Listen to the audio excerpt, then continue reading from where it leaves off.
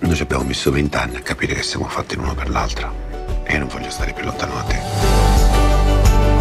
Sono diventato così vecchio e non mi riconosci? Lappo, Il tuo casale adesso è mio. stai scherzando? Fosca è tua, però il casale è mio. Scusa, perché non chiedi il trasferimento in Sicilia? Penelope, ti chiamo stasera. Sono venuta a controllare le mail di mio marito. Da Samantha.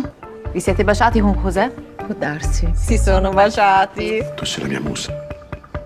Per fotografarti dovrò rubarti l'anima. Non sentite questo odore acre intorno al cadavere? Un po' come nei profumi, quando un sentore ne nasconde un altro e un altro ancora.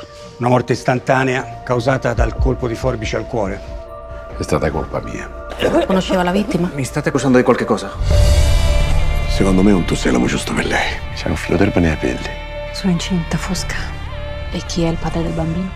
Aspetta a vendere il casale, non buttarmi fuori così. Detto sei felice con Cosimo.